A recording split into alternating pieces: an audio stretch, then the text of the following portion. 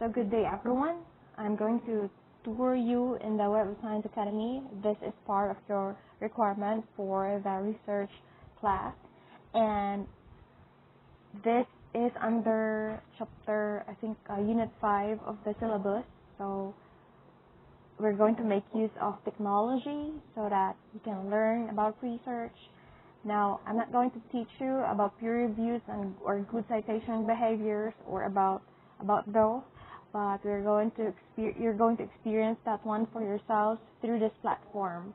You're gonna earn certificates here, but I hope that you can enjoy your journey learning about what really a peer review is.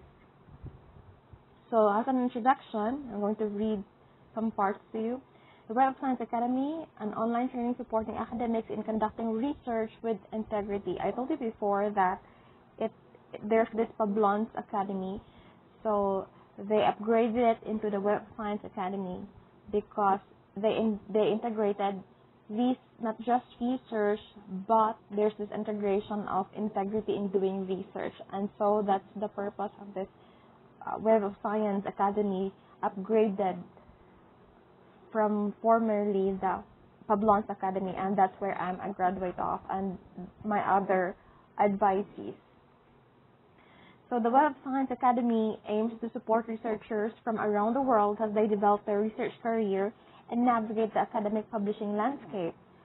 Learn about various aspects of research integrity and develop key skill sets within academic publishing by creating a login and then com- completing free courses when it suits your schedule. The certificates, which can be downloaded or printed, are awarded for each completed course, and so that's what's nice about it. It's an internationally recognized certificate. And of course, it's pointed out here that you are going to learn um, through free courses. So these are free courses during this time. Learn from the best mentors or scientific researchers worldwide. What I appreciate about giving you this is that you can have the experience of those who are professional uh, or newly uh, newly um, emerging into the field of research. So you are undergraduates. It's an advantage for you if you can learn from this platform. And so that's what that's the kind of experience that I'm I am giving my advisees or my research class so that they can learn from an international arena and a globe to become globally competitive researchers. And so I hope that you can enjoy your personalized learning from this course. So we have here the course content. All course content is focused on supporting research integrity and improving the quality of published research at the Academy. New course content will be continuously added. So, so far, I think there are like seven courses so even after you graduate, you can continue learning and using the platform if you want. But I, I will only require you to earn five, uh, enroll in five courses, and that means earn five certificates for the duration of the entire semester. So we have here good citation behavior. I'm going to let you have this one. So five courses. We have good citation behavior where you learn how to reference, to where to reference, and when to reference, and gain understanding of what citation manipulation is and how to prevent it. So this course is for authors, peer reviewers, and editors, and it takes 30 minutes to complete. It's advanced for you, but I know that this advanced advanced knowledge is an edge on your part when it comes to citing references because even if you are not yet fully exposed to research, you can learn from this one so that you can avoid those pitfalls or conducting your research, um, having plagiarism. So this one can help you out. And then, of course, I will also require you to have this an introduction to peer review. Here, you're going to learn what's expected of you as a future peer reviewer. As I said, this is an advanced course, but I know that you can do it. So, a peer reviewer are those who are um, credible researchers or those who have experience in publishing and they're asked by the journals to do the reviews for them. So you're going to learn here and how to respond to peer review comments as an author. So This course is aimed at early career researchers that have just started or are about to start publishing and reviewing, and it takes only 30 minutes to complete. So even though it's for those who have already started their research, but as I've said, it's an advantage for you if you're if you're undergrads and you can learn from this course. And then reviewing in the science. So you're going to learn how to review a typical research article, what to look for in each section of a manuscript by using peer review guidelines, and how to structure your peer review report by using a template. I love this one because you'll be exposed to a web science template, and my uh, former advisors also used and did their own peer reviews. So this course is for early career researchers that would like to learn how to peer review. Um, you know that this course, even though it's for early career researchers, so I think it would still be appropriate for you because you are beginning to have your, uh, you're going to have your research. And then uh, I'm also going to be requiring this one, reviewing in the humanities. Learn how to review manuscripts such as monographs and literature reviews, what to look for in each section of a manuscript by using peer review guidelines and how to structure peer review report by using a template still using the Web of Science template and you can access that one in the course. So this course is also for early career researchers that would like to learn how to peer review. Now, if you notice that peer review is actually an advantage on your part because we're gonna have the we're gonna do the peer reviews of your uh, classmates.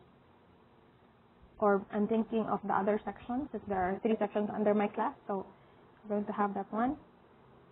And this one will skip this part, co-reviewing with a mentor. That's when there's um, a mentor who will mentor you, a foreign-based mentor, or, or before I used to mentor because I already I'm a Publons Academy mentor. So I I was the one who mentored my advisors so that they can graduate from the Publons Academy. So there were half 50% who graduated and 50% who did not graduate from the Publons Academy because I have to be objective about the the peer reviews that they give. That uh, if they do graduate, we won't be ashamed that the Publons Academy has has given them the certificates for them to graduate uh, last year. Uh, mentoring and peer review, uh, no, this one I won't let you have this one. But this one, an introduction to ethical publishing behavior, you'll need this one. So learn about ethical behavior around conducting and publishing research, such as what constitutes authorship, research, misconduct, declaring conflicts of interest, and identifying unconscious biases during peer review. So this course is for authors, peer reviewers, and editors. And of course, you as students, I'm happy that I'm able to share this platform to you so that you can learn from it. And it's personalized learning. It's part of your requirement, so I love it. Uh, it's technology based. It's uh, it's learner centered, so you can learn research, uh, uh, advance your research, research skills as well as your research knowledge. So that's the advantage of this platform. I'm I'm giving it to you. There's actually other platform, another platform that you can use, but if you finish this one, um, by May or I think April will do. Yeah, I, I think I'll, I can give you until April or May to finish this. It's 60 minutes to complete, but when you're actually doing it, mm, it requires more time. So five courses. You have this four courses that you're, I'm requiring you, and then of course the introduction to ethical publishing behavior because we want our goal for research for your studies is to really publish because if you have unpublished if you have unpublished research or those research which are not published, then it's like it does not you whatever you did for a year starting right now does not exist. So that's why the goal really is for publication. So what are the key benefits? You have here free online and uh, free online and on demand. You're going to have certificates awarded after the course completion high quality content developed together with industry experts, yes, researchers, um, learn vital research integrity skills from a trusted source because the Web of Science, of course, is one of the one of the two, which actually there are other publishing um, house, but Scopus and Web of Science are the two prominent uh, giants when it comes to to research. Okay, so now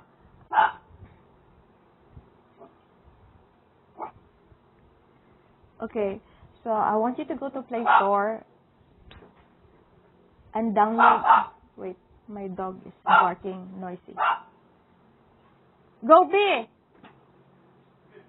So now I want you to go to Play Store and download this app, Go.Learn, and then you have to install it. So I'm going to open it.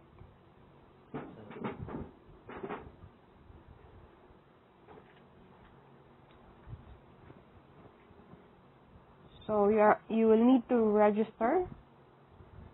You need to register first. The one that's loading, it's actually register. So we'll just have to wait for it. Okay, there. So you're going you're going to need to register, and then there, um, your first name, your email, your password, of course, and accept the this one and then next I don't know what's next because I forgot already but just read whatever that is required for you to register. So I'm going to log in first using my uh, unknown username and password and then I'll cut this one for a while.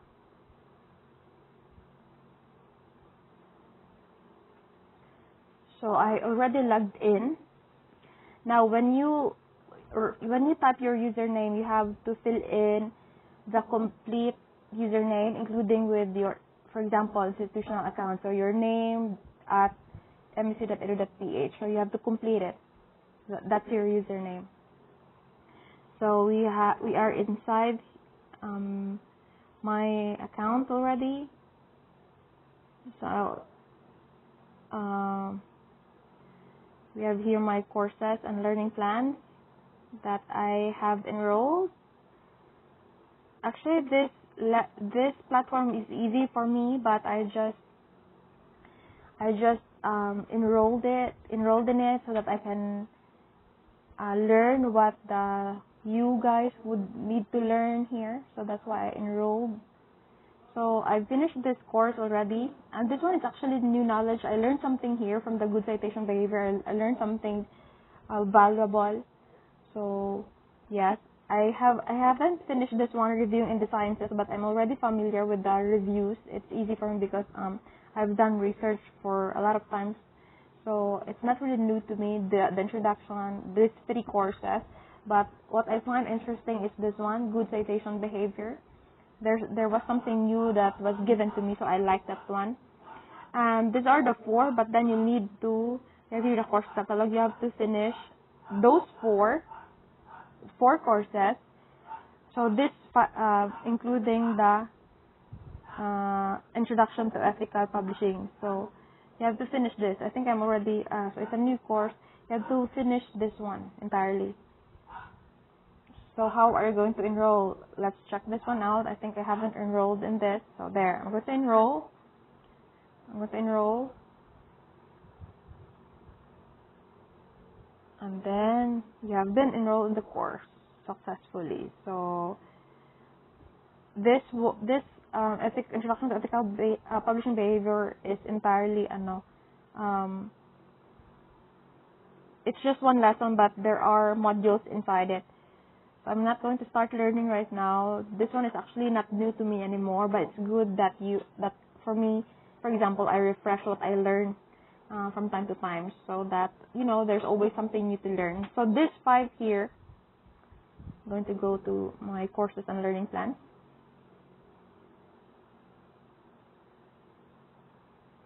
so this five here five courses these are the courses that you'll need to enroll.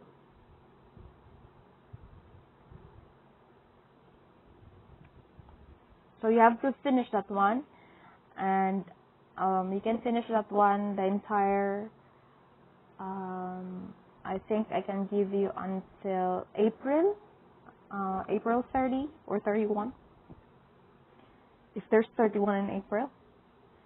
So so only until April the last week okay? So that um, because you have your project for the conference so that it will not be in conflict with the project Alright, so I hope that you know how to enroll yourselves. And by the way, uh, let's have an example.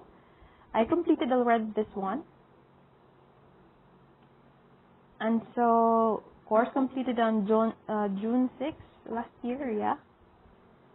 So, introduction to peer review. Uh, let's see what I have gone through, gone, uh, gone with with the course. Okay. So what's what's ah here?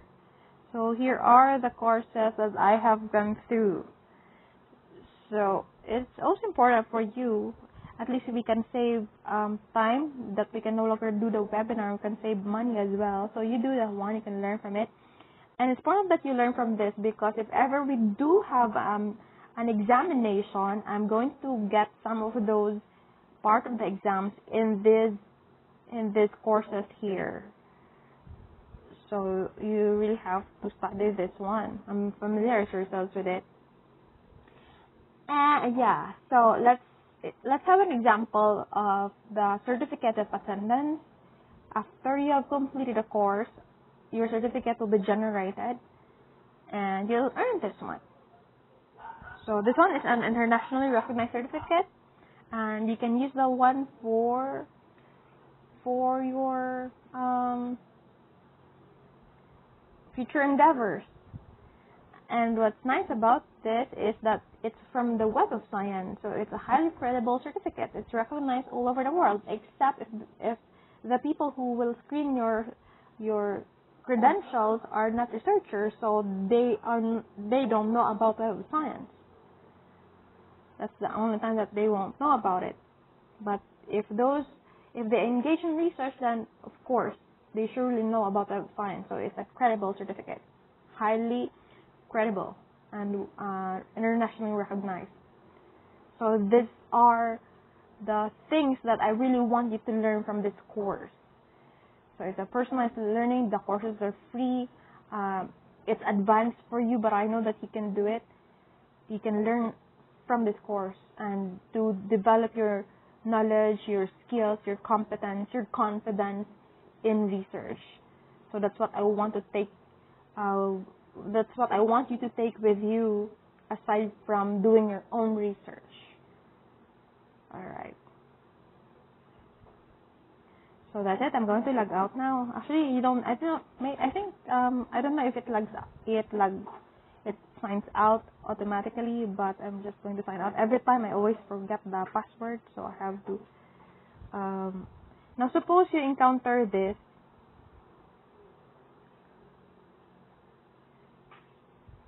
Okay, I'll try to.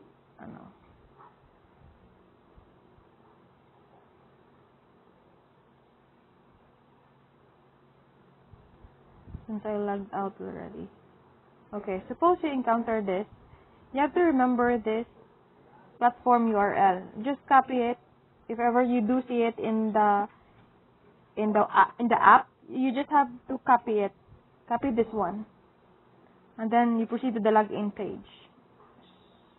Because if you don't know the platform URL, it will not take you there in the sign in. So I hope that you'll enjoy whatever you learn from this platform.